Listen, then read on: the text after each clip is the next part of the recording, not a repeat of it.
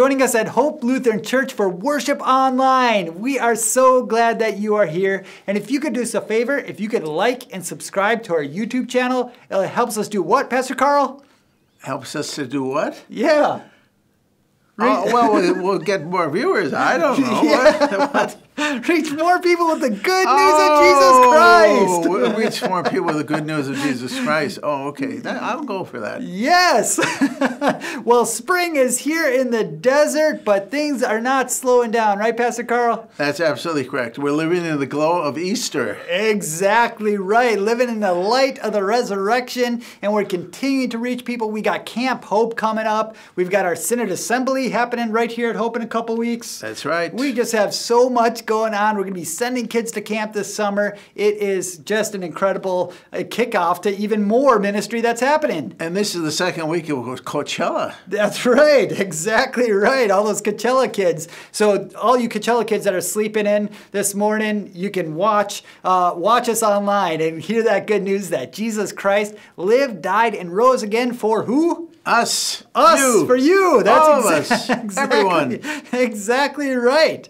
So, and if you would like to help us support and reach more people with that good news, and send, including our Camp Hope, sending kids to camp, all the incredible things that we're doing to form the faith of uh, young people, uh, there are a couple ways that you can give. One, you can mail in an offering to Hope Lutheran, Lutheran Church at 45900 Portola Avenue in Palm Desert, California at 92260.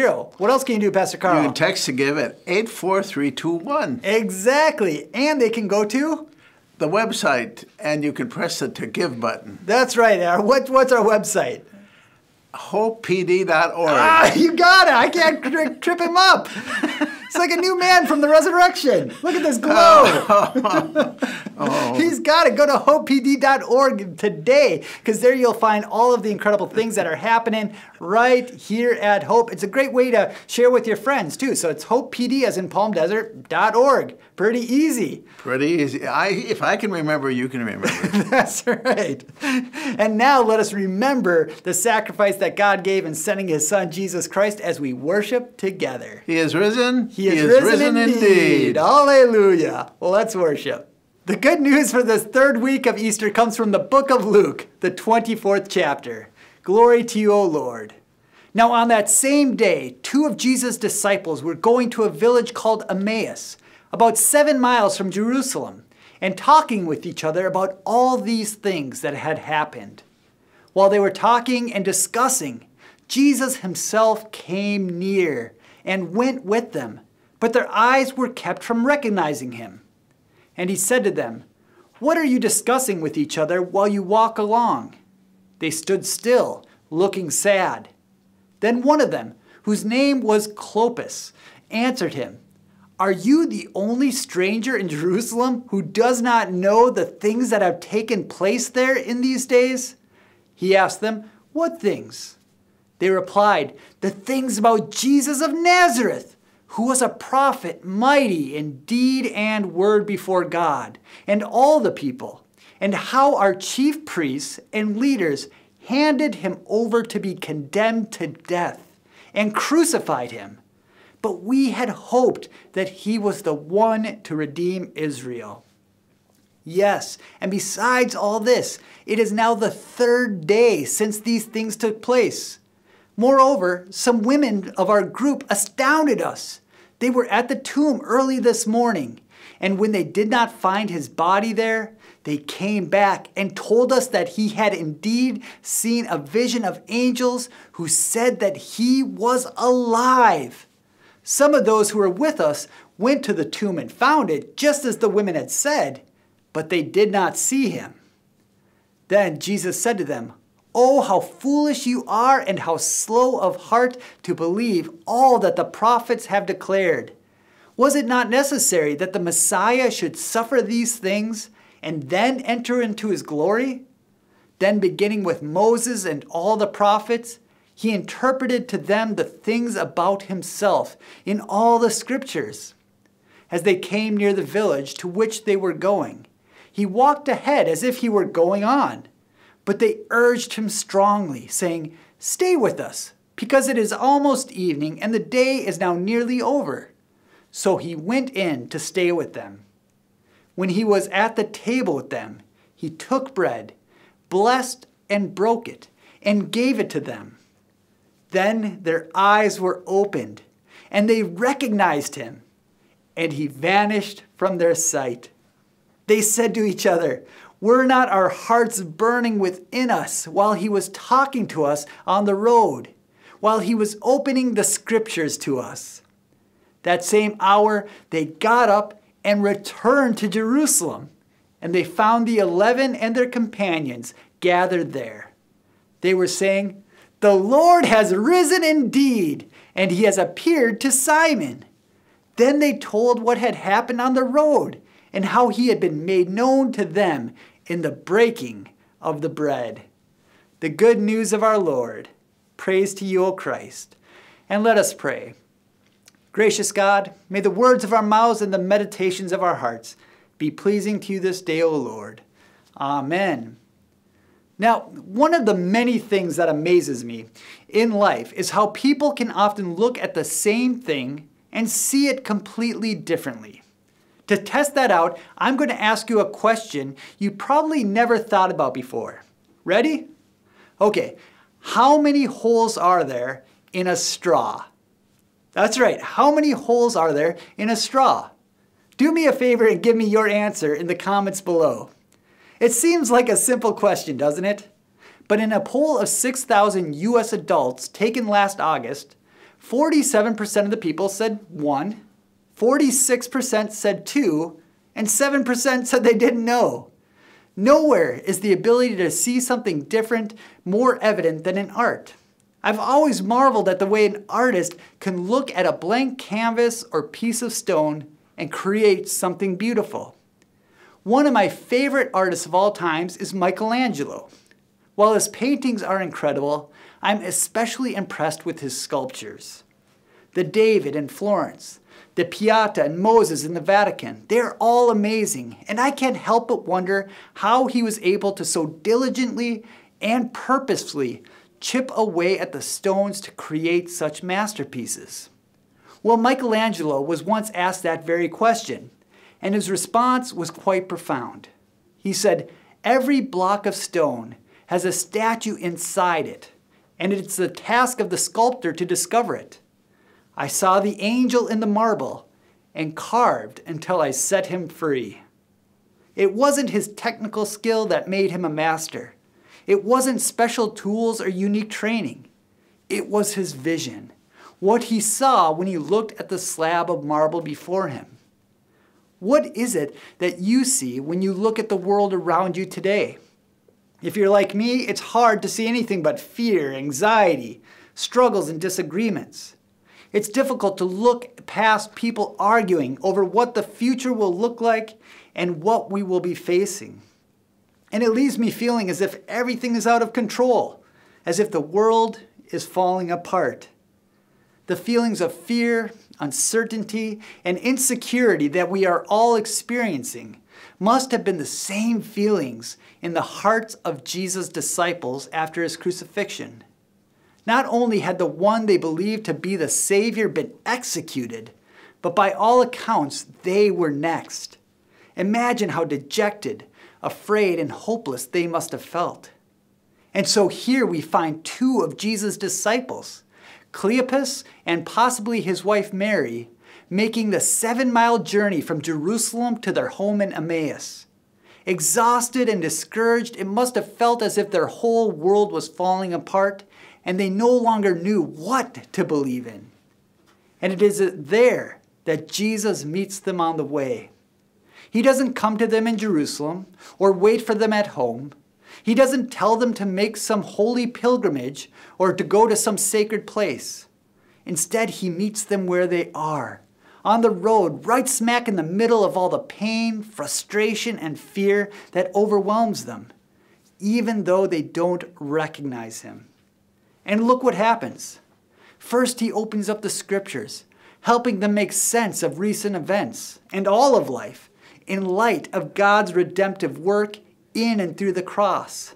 And then he shares a meal, lifting and blessing bread, breaking it, and giving it to them. And amid these simple and symbolic actions, their eyes were opened and they recognized him. Through the hearing of God's promise and the sharing of the meal, the eyes of these disciples are opened and they recognize not just the person of Jesus, but the presence of the Lord, the God whose powerful word called forth light from darkness and gives life to the dead. And then he's gone, and they know they need to be gone too. So they get up, venture the dangerous evening road back to Jerusalem to tell of what they've seen. Why? Because they can't help it. You can't keep news this good to yourself. Can you find yourself in the story? Have there been times in your life that you felt that God has left you or wondered, wondered if He even exists? Have there been tragedies that have occurred where all you could see was the world falling apart? It is precisely in these times that we are most afraid that God calls to us. It's when we feel most alone that God is walking right beside us, guiding us so that we might recognize Jesus as the one who meets us where we are and accompanies us on the way. We come to celebrate a God who does not leave us alone to fend for ourselves, but a God who walks with us on the long roads of fear and despair, even and especially when we don't notice Him. Our God is a God who walks with you along the dark and dangerous journeys of your life. Jesus is walking with you, calling you to open your eyes to a loving caring, and forgiving God every day of your life. Whether it is in the midst of a pandemic or all the struggles of everyday life or wondering if there's war, Jesus is there with you, being your light and your salvation. You never have to feel alone because God is there, ready to open the eyes of your heart to his presence, both now and forever. So while Michelangelo saw the angel in the marble, and chiseled until he set him free. We are called to see Jesus in the world and chip away at sin, fear, and death until others can see him as well. You are called to see Jesus in your neighbor. You are called to see Jesus in those in need. And you are called to see Jesus in yourself. Your job is to remove everything that keeps others from seeing Jesus as well. So I want to ask you to look at the world in your life with new eyes what is it in the way of that is in the way of you or others seeing Jesus in your midst? When your eyes are shrouded from Jesus right before you, offering guidance, grace, and love. Through the forgiveness of sins and the resurrection of the body, God has given us all that we need to chisel away at those things. And by doing so, we will help others to see the world for what it truly is the great masterpiece of God. Amen. And let us pray. Gracious God, we ask that you open the eyes of our hearts to see you with us now and always. May you help us help others to see you walking in their midst as well, knowing that we are never alone, for you are with us both now and forever. And for that we give our thanks and praise. Amen. Now let's worship together.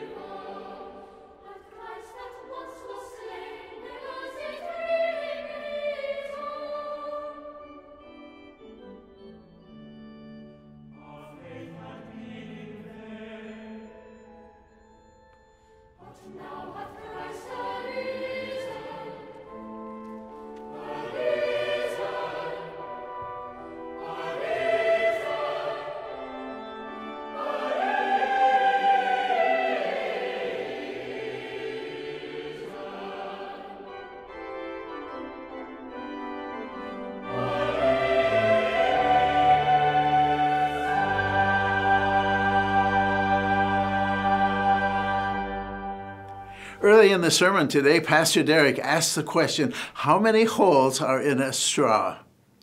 In an internet survey here in America, 46% of those responding said one hole, 47% said two holes, and 7% said they didn't know or cared. the truth is that either answer is correct depending on how you look at a straw. Now let us confess our holy Christian faith using the words of the Apostles' Creed. I believe in God the Father Almighty, creator of heaven and earth.